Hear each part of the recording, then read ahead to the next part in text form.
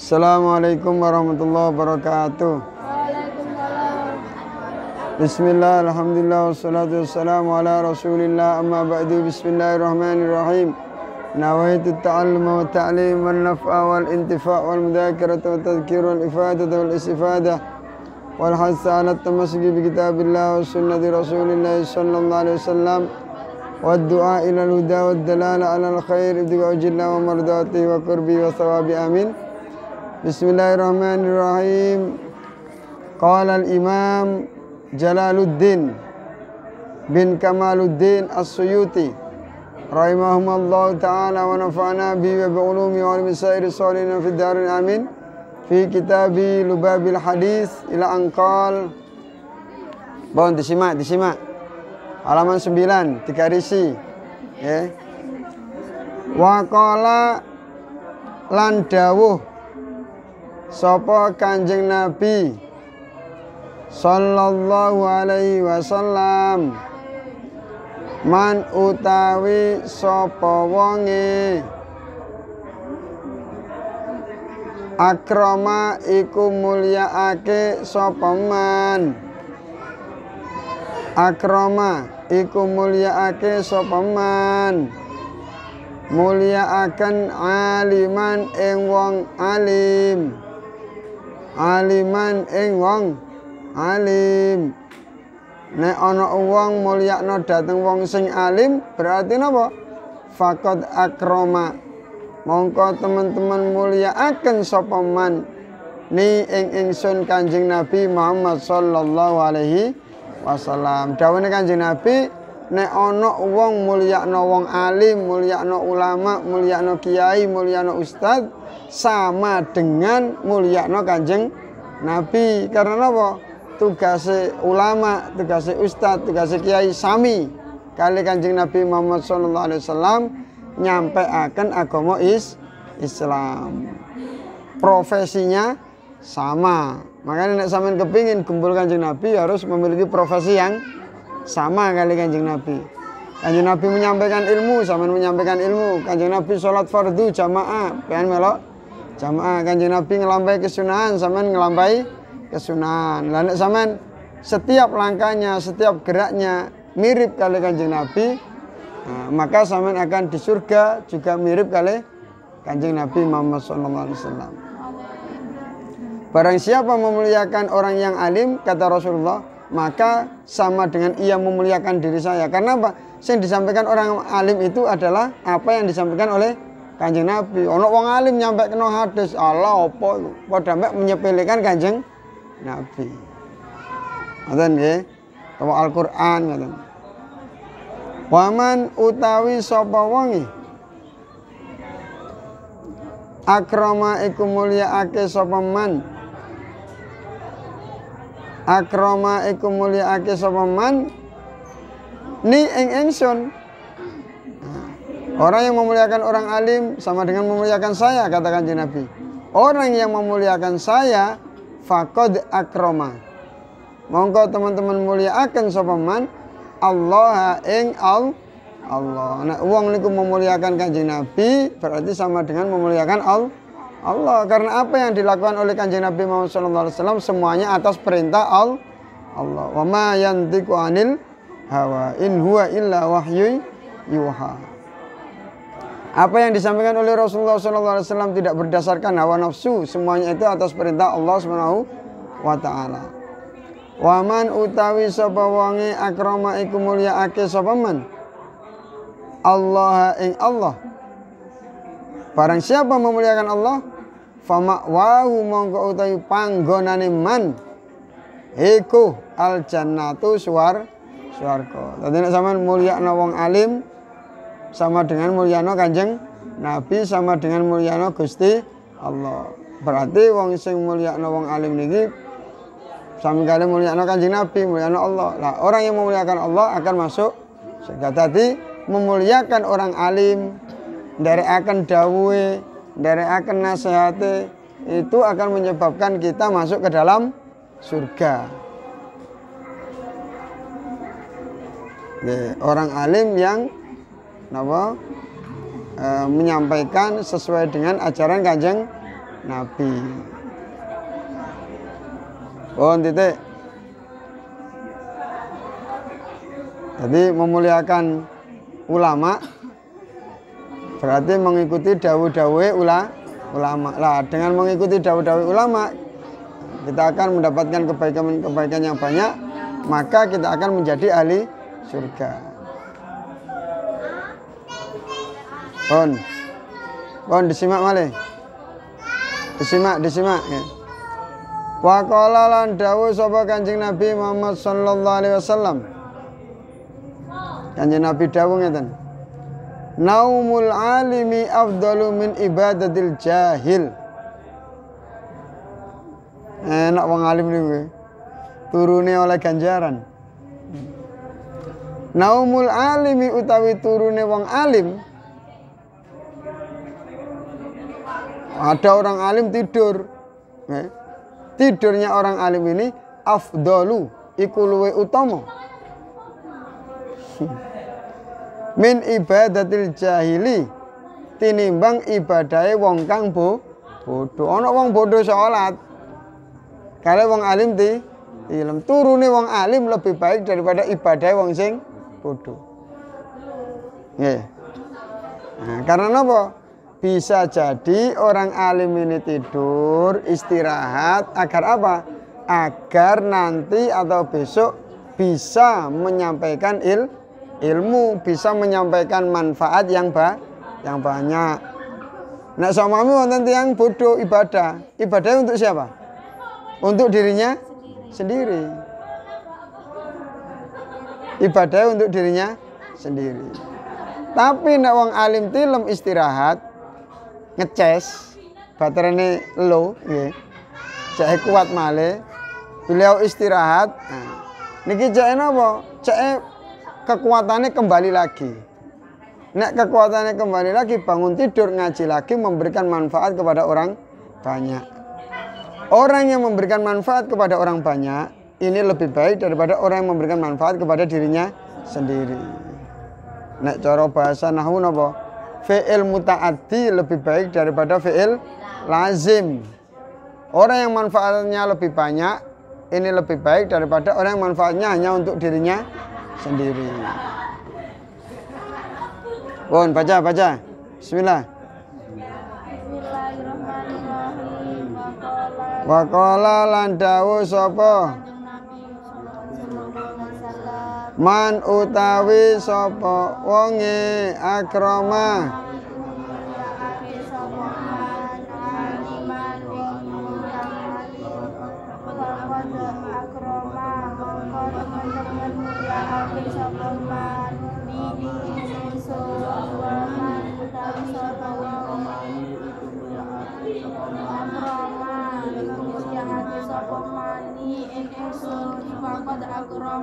mongko teman-teman mulyake sapa Allah ing Allah. Waman utawi sapa wonge? Akrama iku mulyakake sapa man? Allah ing Allah fama wahu mongko utawi panggonane man iku al jannatu swarga. Wa qala lan dawuh sapa kanjeng Nabi sallallahu alaihi wasallam naumul alimi utawi turune wong alim afdalu iku luwe utama min ibadatil jahili tinimbang ibadahe wong kamu.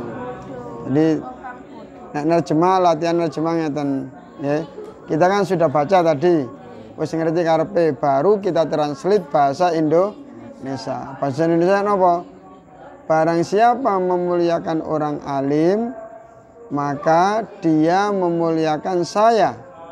Saya kanjeng Nabi ya. Dan barang siapa memuliakan saya, maka berarti dia memuliakan Allah.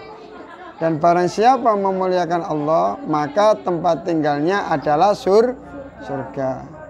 Nabi Muhammad SAW bersabda, tidurnya orang yang alim itu lebih utama dari ibadahnya orang yang bodoh.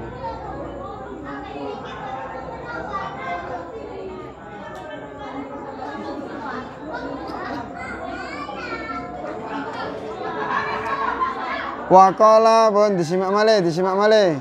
Disimak, disimak. Eh ditingali kitabe. Waqala lan dawuh sapa Kanjeng Nabi Muhammad sallallahu alaihi wasallam.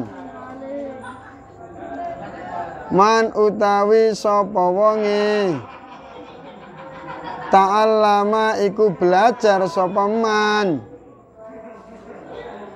Baban ing siji bab Bab satu bab ini kayak bab sholat Bab wudhu Bab mandi besar Bab jual beli atau apa Barang siapa belajar satu bab Minal ilmi saking ilmu Ya malu kang ngelakoni sapa man baik nantinya diamalkan atau tidak belajar tok nih dari ngamalaken nggih. Baru belajar saja nih, belum sampai mengamal mengamalkan. Bihi kelawan bab saking ilmu. Aulam yakmal utawa orang ngelakoni sapa man bihi kelawan bab saking ilmu. Kalau ada orang belajar ilmu baik diamalkan atau tidak, baru belajar saja nih. Karena monggo ono apa belajar ta'alum apa belajar? Afdalu iku luwe utama. Apa belajar? Min ay eh, afdala iku luwe utama. Min ayyusalliya saking yen to salat sapa man? Daripada ia salat alfa rakaatin ing sewu rakaat sing sewu rakaat tatawuan apane salat sunnah karena nopo ya. Nek tiang batas ilmu niki mungkin semerap antara sah dan tidaknya iba, ibadah. Lan ibadah ya, ping sewu tapi buatan semerap syarat rukune terus buatan sah. Tuas sembahyang. Makanya ini pentingnya ilmu. Belajar satu jam saja ini atau satu bab saja ini lebih baik daripada sholat seribu rakaat. Monggo baca baca. Wa qala lan dawu sapa Kanjeng Nabi sallallahu alaihi wasallam man utawi sapa wonge ta'allama iku belajar sapa man? Baban ing siji bab. Minal ilmi saking ilmu. Ya malu kang nglakoni sapa man? Bihi kelawan bab saking ilmu. Aulam yakmal utawa ora nglakoni sapa man? Bihi kelawan bab saking ilmu. Kana mongko ana apa belajare afdala iku luwe utama. Min ayyusalliya saking yen to salat sapa man? Alfa rakaatin ing sewu rakaat. Tatawuan apane salat? Sunai makanya sampean ngaji ngeten iki belajar ngeten iki. Oke lah sekarang. Kadang males. Mergo napa? Mboten semerap ganja ganjarane. Nek sampean semerap ganjarane golek ilmu insyaallah ngreges-ngreges budal. Budal ngaji kalau ngeten nek lapo ditakoni menengae untune loro lho lah kok budal? Enggak terus pas ngaji anu niku lebih baik daripada sholat pinten seribu rakaat kalau seribu rakaat terawih setengah jam pegel napa malih sholat seribu terawih ini setengah jam ini berapa rakaat 20 rakaat setengah jam Berarti untuk mencapai seribu rakaat butuh waktu berapa jam?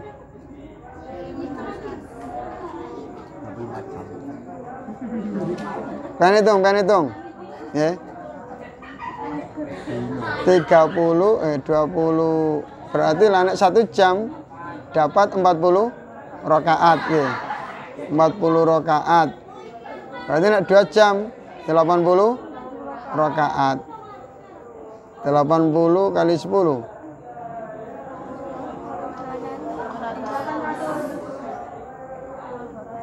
Baru 800. Pinten jam niku? 10 jam baru 800. Siro lupat monem tuwolu. Loh?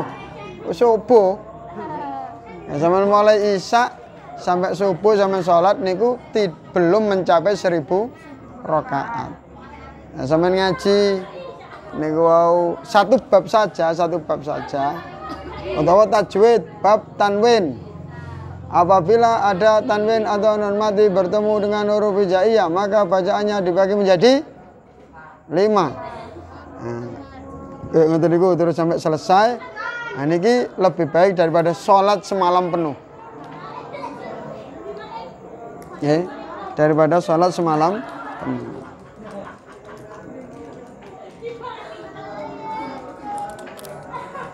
Nah, niki lanjut. Waqala lan dawuh sapa Kanjeng Nabi sallallahu alaihi wasallam. Kula pas ketemu hadis niki niku kaget. Terkejut kula. Kok hebat. Man utawi sapa wonge Zara iku nilii berkunjung sapa man utawa sawan Aliman ing wong alim barang siapa ziarah kepada orang alim berkunjung atau ngaji pokoknya marani wong sing alim. Fakaan nama zaro mongko koyok-koyok nilii sapa man ni ing ingsun. Barang siapa berkunjung ke orang yang alim sama dengan berkunjung ke kanjeng Nabi. Yeah. Kaget. Ternyata orang alim itu sebegitu hebat kedudukannya. Karena wadifanya sama dengan kanjeng Nabi menyampaikan Al-Quran dan sabdai kanjeng Nabi Muhammad SAW. Mestinya ya anu ya ziarah wong alim, wong alime ngejak bahas il ilmu, buatan ngejak bahas nopo ta, sing enten manfaatnya. Jadi orang yang ziarah kepada orang alim sama dengan ziarah dengan kanjeng Nabi. Tapi gak Allah nak wong alim ngaku kanjeng Nabi, ngaku na Nabi. Wah aku ini Nabi. Mboten ansal. Koyok nggih, koyok ziarah teng kanjeng Nabi.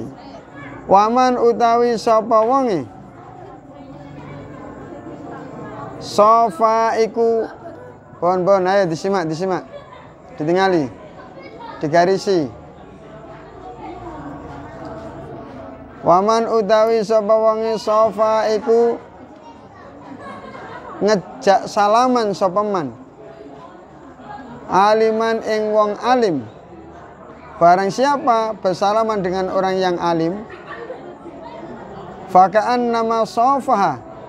Monggo koyok-koyok salaman sapa man ni ing ingsun.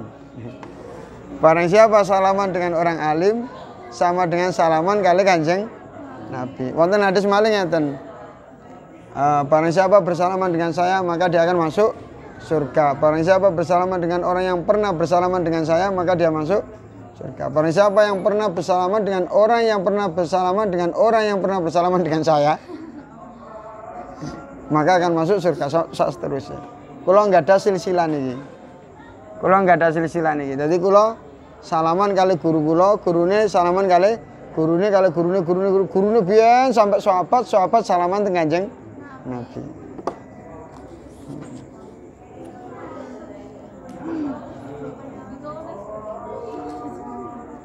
Barang siapa bersalaman dengan orang yang alim, maka seakan-akan seakan-akan dia bersalaman dengan saya terus Kanjeng Nabi.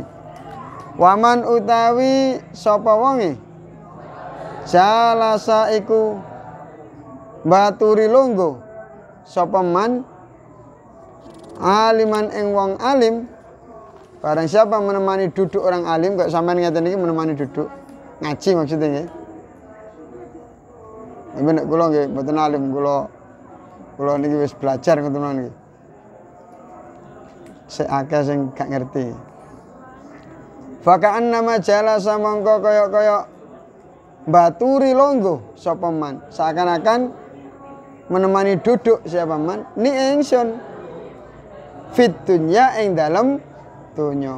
Barang siapa menemani duduk orang alim ngaji nah, sama dengan menemani duduk kanjeng Nabi karena apa? Orang alim duduk mulang ngaji yang disampaikan adalah sabda kanjeng Nabi. Nasihatnya sami kali nasihatnya kanjeng Nabi. Waman utawi sapa wonge jalasa iku baturi longgo sapa man, ngancani longgo sapa man ni ingsun. Fit dunia ing dalam dunya Barang siapa menemani duduk saya di dunia Ajlas tu Mongko ngelungguhake ingsun. Hu ing man Mai ing dalam sertan ingsun Yaumal kiamat ing dalam dino kiamat Barang siapa menemani duduk saya ketika di dunia Maka saya akan mendudukkan teman orang tersebut dengan saya Ketika di hari kiamat Muka-muka sakit kepanggil kancing Nabi. Amin Allahumma. Amin. Oh, doanya dibuka doanya. Bismillahirrahmanirrahim.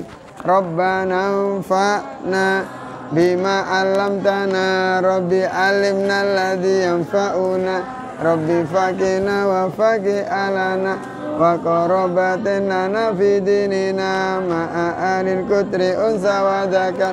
ربي وفقنا ووفقكم لما ترتدي قولا وفعلا كرما. وارزق الكل حلالا دائما واخلا أتقياء علما نذا بالخير ونفى كل شر. ربنا أصل لنا كل شؤون. Wa akhir rabbi ridho minkal Waqdi anna rabbana kulla duyun. Qabla an ta'tiyana rasulana Afiristur anta akraman sata Wa salatullahi tasal musta. Man ilal haqi da'ana wal wafa. Bi kitabin fi'lin nasi shifa. Wa alal alil kirami syurafa. Wa ala sabil masabil guran رب قني ومن يحبني كذا مشايخي من شر حاسد إذا. بلاك افتى بيننا وقومنا وأنت خير الفاتحين ربنا. يا جميل الصنع يا من كلما دائما الأمر جلما دائما يا غياث المستقيسين ويا مدي الحكم إذا ما كمل nafisil amra alaina suratan inna dhal amra alaina aduma واستجب منا دعانا كرما يا كريما أنت رب الكرما وصلاة الله تنسى المصطفى. من إلى الحق دعانا كرما وعلى الآل وصحبه عندما لمع البرك ومزن قدما اللهم اهدنا بهداك واجعلنا ممن يسار في رضاك. ولا تولنا وليا سواك. ولا تجعلنا ممن خالف أمرك وصاك وحسبنا الله ونعم الوكيل نعم المولى ونعم النصير ولا حول ولا قوة إلا بالله العلي بسر الفاتحة.